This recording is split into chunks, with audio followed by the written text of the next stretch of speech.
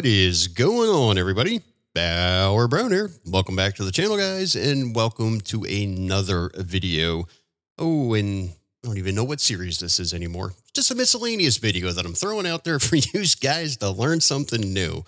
Uh, actually, I'm working on a little bit of a backlog of videos that I've been meaning to get to, and I just haven't made it there. A lot going on lately, folks, and it's tough keeping up with this catalog of videos sometimes. Anyhow, one of the questions that has been posed to me in the past, uh, several questions actually, but this one I just happen to be working on at the moment, is the L10N the translations inside of FarmSim. Okay. Now, I'm sure we've come across this at one point or another. You've seen this, uh, maybe through an error in the game, or you've just come across it somewhere in one of your XMLs and you didn't quite know what the heck was going on there or how to even go about implementing it into your own project uh, and get things working correctly. All right. So I know there's been some confusion that, you know, some people struggle with it, some people don't.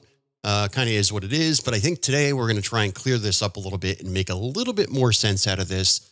Uh, so you guys, you know, have a better understanding and, and can, you know, implement this into your own project. Okay. So recently, like I said, I've been working on my own map. I've been getting closer. I don't want to say to completion, but I'm getting there. Uh, but anyhow, I, I just did my uh, my train system. I had that all all settled and in place. Uh, speaking of which, I came across something in my train system that uh, would be a correction on one of my past videos. Not that I did anything wrong, but I was trying to do something that I figured out a different way to do it, and, and maybe we'll discuss that in a little bit. All right. Now, this L10N uh, I'm not even sure why it's L10. Now it's L as in Larry. Now I've seen people say 110N, I10N. I've seen just about every every variation, but it's L. It's L as in Larry, the number one, the number zero, the letter N, L10N. All right. And those are a translation. So if you have something inside one of your scripts and, and you have an English version for it and you're trying to reach a broader audience, uh, you know, maybe it's like German or French or Polish or what have you, uh, you can put the uh, the translation for whatever that English term is, or maybe you're German and you want to do an English translation. Right, that's what this is. It's the translation. Okay, so like I said, I was working on my train system and I just happened to be looking at this file now. So I did implement this into my translations. Okay, and you can see here under hotspots. Okay, uh, and this is what it normally looks like. If you look right here where it says unloading train, I have text equals, I have dollar sign L10N underscore station underscore blah, blah, blah. Okay. And then right below that, I have another translation. All right. So just about anything can go here, right? So this is kind of a placeholder. It's a variable of sorts, right? For whatever you want to be there. Okay. Now this, this uh, variable corresponds uh, to another a definition somewhere, right? So a variable is meant to to hold some kind of value. It's a temporary placeholder for a value. So that value is usually a uh, it depicted somewhere else, right? So we set that value somewhere else and tell it what that value is going to be. And in this case, that value is is the term, whatever name is going to go in there, the text that we want to be in there. Okay. And in this case, it's it's just city names, right? So this could be anything. It could be Ravenport. Uh, it could be just about anything. All right. Now, the one thing to keep in mind uh, here with the train station or the train system, I should say, uh, the what used to be here is uh, hmm, what was there?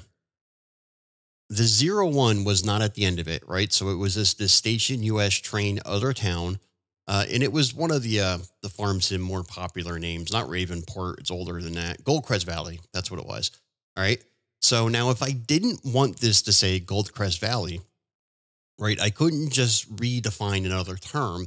Uh, it, you can't overwrite the uh, the base game names. Okay. So if I don't want Goldcrest Valley, I actually have to give it a different variable, right? So instead of train other town, I just gave it a new variable of train other town zero one. All right. So you can't just overwrite the, you know, the variable by, by keeping the same or not, or not the variable. You can't overwrite it with the same variable. You have to give it a new variable. Okay. So if I kept this station US train other town, it would keep saying Goldcrest Valley no matter what, right? So once they give it a new variable and it matches something in my uh in my L10N, then there you go. Then it'll it'll it'll put the new name. All right. So hopefully you understand what that is. Like I said, I'm sure that you've come across it before.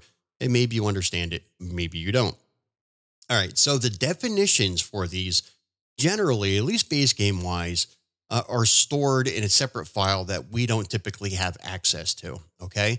But there are different places when you're creating a mod, whether it's a mod map or it's a placeable or something like that. Uh, there's places that we can define these values, right? And they don't have to be in a secret hidden file somewhere.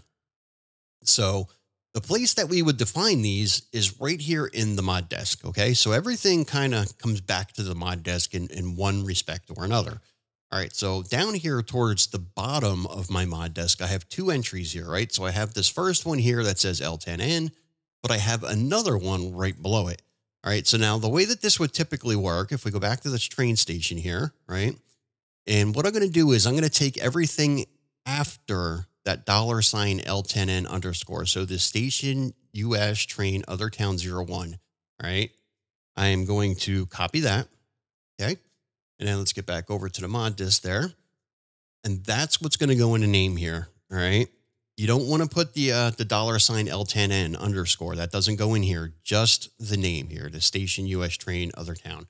All right. So now whatever you want that to be, all right. So maybe you do want it to be Ravenport. Maybe you want it to be, oh, I, I don't know, anything. I mean, we could put Chicago in here if we want to, right? So that's what this other town now, the variable is set to Chicago. That's what the value is. All right. And I'm pretty sure that the, uh, the translation for the German translation here uh, would also be Chicago. Okay. But this, this comes in handy when you have other things that aren't proper names, right? So uh, maybe it's something for tractor or, oh, I don't know, any other term that does have a translation, right? So you would put the English here. This EN stands for English and the DE is for German. And there, there is a list of codes somewhere if you need to know uh, what the other codes are. So say you're doing Polish, you're doing French. I think French is FR, uh, but there is a, a list of abbreviations, right, for these translations. All right, so this is one way that you would do it. You would do it right in your mod desk, okay? So you would have an opening and a closing tag. The opening tag would be L10N. The closing tag would also be L10N. And right what you see here in the middle, this text name equals, uh, that's where your actual translation goes, okay? And this goes for anything in your project, right? So it does need to be unique. This variable here needs to be unique, right? If it's anything that is already used inside of the base game, from my own experience, now maybe I'm incorrect on this, but from my own experience, you cannot overwrite the base game variables, right? So if it's a base game variable, whatever that value is, is it's still going to be shown in the game. So like I said, if you're trying to overwrite where it says uh, Goldcrest Valley by using the same variable. And all you're trying to do is just, just give that same variable a new value here will not work. You need to change the variable. It has to be something unique to your project. All right. From my experience. Now, maybe I'm incorrect, but I could never seem to overwrite the base game variables, all right, using the same variable. And in this case, I instead of the same variable, I just tacked on a zero one to the end of it. All right. So like I said, this applies project wide. Uh, so anything that you have going on here, and there's there's variables everywhere, right? So these translations you can see right here is a, a type desk for a locomotive. So if I wanted to give that, oh, I don't know, a different description, the uh, type description for the locomotive, I can do that here. Um, again, I'd have to give it a new variable though. I couldn't rewrite this same variable. Couldn't overwrite that because whatever their value is, is what's going to stick, right? I have to give this a new variable. All right. And any one of your files here, any one of them, uh, you can come up with your own variable and just make sure that you have that in your mod disk. All right. Now, this mod disk, if you're keeping them in the mod disk, uh, that, that only really comes in handy is if you have just a small handful, right? If you have a large project and you got many, many translations, right? You have English, German, French, Polish, and you just have a whole laundry list of uh, translations, you probably don't want to do it this way. Okay. So there is a secondary way. Now, out of these two that you see here, you can only choose one. You can either put your translations in the mod desk itself, or you can have a separate file that holds all of your translations. All right. And that's that's what I opted to do with this uh with my current project. Even though I only have two translations in there right now, uh, that's still the way I decided to go just to keep my mod desk a little bit cleaner. Okay. So the second way is it's it's just one tag. We have the uh, L10N and then file name prefix equals. Now we're telling it what folder to look in and we're telling it the prefix. All right. Now I haven't experimented with this, but I believe this L10N is only the prefix. So when you look and you see uh, the dollar sign underscore L10N, you can set that prefix to anything you want, right? So you could have doesn't have to be L10N, it could be anything. I could be incorrect on that. So don't hold me to that. I did not verify that. I just assume that's what they mean by prefix. You know, you're defining the prefix here. And as long as you keep using this prefix, you'll be okay. Um, so like I said, you can test that out on your own. Maybe you can make it instead of L10N, you can make it, oh, I don't know, M16W, whatever you want. All right. So in this case, we need a translations folder. All right. And that's, that's what I did. Uh, in my project here, let me see where I was here. We go into mods, right? So I gave myself a translations folder that you can see right here. And inside of translations are where all of my, my translation files are going to be. Now, what was different is the way we had it previously, we had the English translation, German, French, all in that one text value, right? In that, that one line.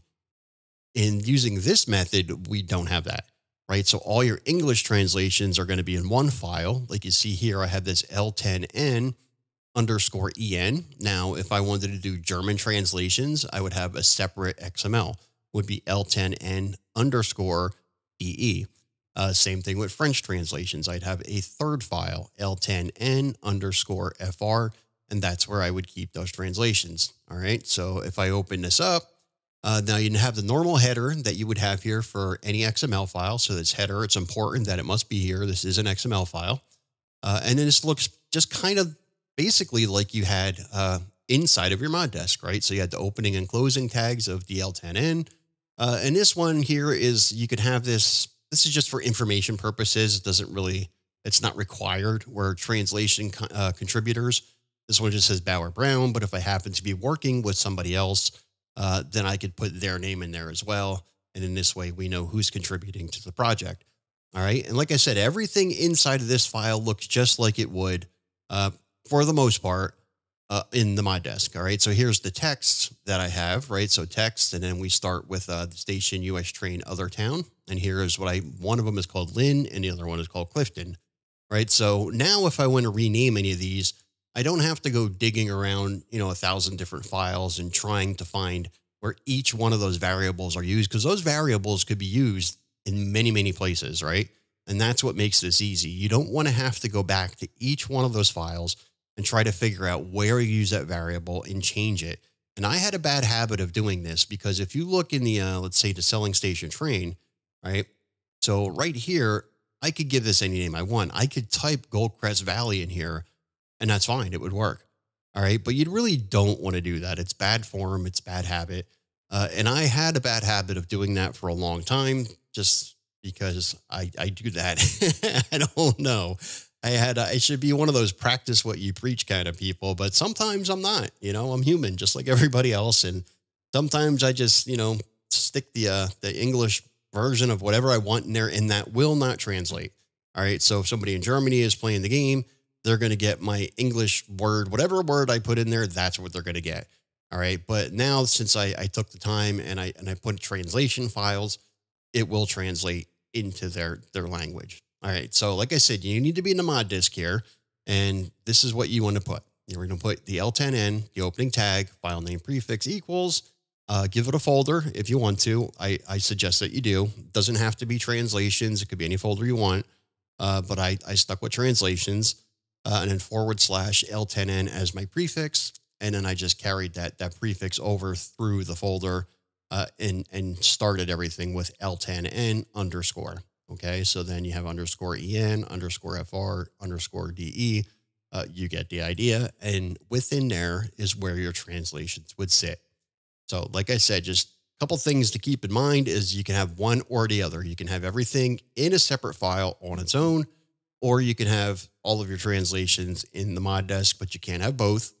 Uh, you cannot overwrite base game files. Like I said, prove me wrong. I, I could be wrong. I, I really could, but it's just never been my experience that I was able to overwrite one of the base game variables. It has to be a unique variable to your project, uh, and then you can assign it a value of your choosing. Okay. And you can change them anywhere you want. But that's why we use this. One, like I said, for people in, you know, other nationalities, other countries that, you know, if if they're uh, playing the game in their preferred language, uh, that it will translate well. You know, it'll translate over to their language, and they don't have to try to figure things out, which is it's it's very convenient. It's a very handy feature. Uh, and by keeping all of these uh, values and translations in one area, uh, you don't have to worry about going through a hundred different files in your project and try to find each instance where this may or may not be used. Okay. So having everything in one central location uh, is what really makes things work here. Okay. Uh, and that's it. There really is no big mystery to the translation files. Um, I, I can't tell you how many times I've, I fielded questions on translations. Where do I put them? You know, what does it mean? I mean, it's, and I get it. When I started out, I came across errors. I'm like, the hell is that? Uh, where do I find that? And I maybe I found it in the mod desk for that mod. And that's normally what would be the case because for each mod that you use uh, has its own mod desk and the translations for just that mod would be in the mod desk for that mod. Okay. And this mod desk for our maps just happens to be the mod desk for your mod, for your map mod. Right. And that's where all of your translations go. They're, they're, like I said, you have, you have two options to either keep them in the mod desk itself or in a separate file like I did here. Right. So file name prefix equals, and then just off you go. And then, like I said, it's important that, you know, you, you start a file for each one of your languages and make sure, you know, you do all the translations. But that's it. No mystery, really easy and easy peasy. all right. So for, for those of you out there who have answered that question, now I did answer it here. For those of you who have asked that question, I did answer it. I know that I always answer, or at least try to uh, answer all of your questions in the comment section or emails or however I get those questions. So I did answer it, uh, but I've been meaning to do a video on it. And now finally here it is. So hopefully uh, people from this point forward can just watch the video and they may not never need to ask that question again. All right. So there you go. If uh, guys have been struggling with this or you just didn't know what it was about, now you do. Hopefully it made some sense. Uh, like I said, I've, I've been at the, uh, actually, I forgot what I was going to say there. Yep. Either way, that's it. so um, I'm going to leave it at that. All right. So, like I said, hopefully you find this information useful in some fashion, some way, shape, or form. Uh, and if you do, you know, make sure to give the video likes, thumbs up. Really helps me a lot. Um, subscribe if you can. Oh, and that's it. With that being said, I am Bauer Brown, and I'm going to see you on next one.